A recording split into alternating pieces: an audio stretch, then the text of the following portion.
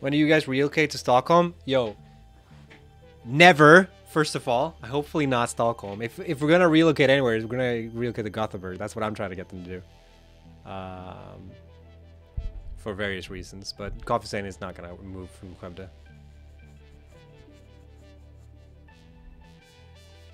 Yeah, F Stockholm. We already have publishing in Stockholm. They can. We have Coffee Stain North has claimed.